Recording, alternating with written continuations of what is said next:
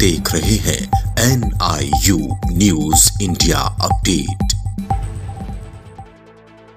एक और किसानों के लिए कृषि बिल मुसीबत का पहाड़ बना हुआ है तो वहीं किसानों पर भगवान मेहरबान है। मैदानी क्षेत्रों में बारिश से किसानों के चेहरे पर मुस्कान देखी जा सकती है, क्योंकि ये बारिश उनकी फ़सलों के लिए वरदान साबित हो सकती है।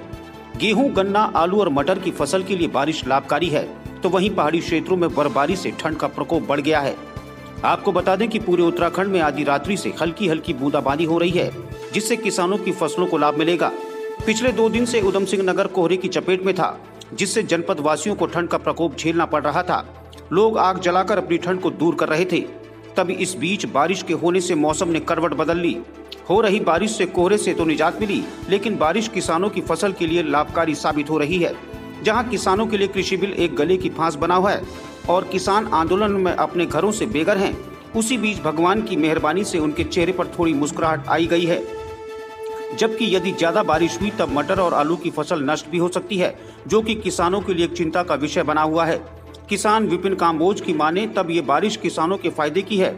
इस बारिश से किसानों की गेहूँ की फ़सल को सबसे ज़्यादा फ़ायदा होगा। किसान नूर हसन की माने तब ये बारिश किसानों के लिए वरदान है, क्योंकि गेहूँ के लिए ये बारिश अमृत के समान है। इस बारिश से गेहूँ की पैदावार बढ़ेगी और बारिश से कोहरे से निजात मिलेगी। आज की पहली बारिश है। और गेहूँ की फ़सल के लिए ये समझ लो अमृत बरस रहा है। और इस बारिश से गेहूँ के अंदर दुगनी पैदावार होने की संभावना होगी और बहुत ही किसान को फ़ायदा पहुंचेगा, जिससे कि खाद और दवाइयाँ भी कम लगानी पड़ेंगी। और इससे जो है कोहरे की संभावना भी बहुत कम होगी। कोहरा भी छट बारिश होती है तो पहाड़ों पर पहाड़ों पर बर्फ़ पड़ती है बर्फ़ पड़ती है। उसके कारण ये हमारी रबी की फ़सल है। रबी की फ़सल को बहुत फ़ायदा होता है। जितनी ज़्यादा ठंड होगी गेहूँ हमारा उतना ज़्यादा अच्छा होगा।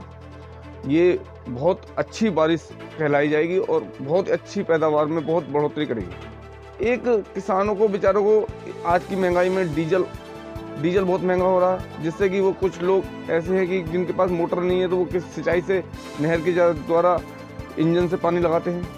वो उनका एक पानी पूरा उनको बहुत फ़ायदा होगा, जो बीस बीस पच्चीस पच्चीस लीटर डीजल चला देते थे, लेकिन उनको बहुत अच्छा फ़ायदा होगा।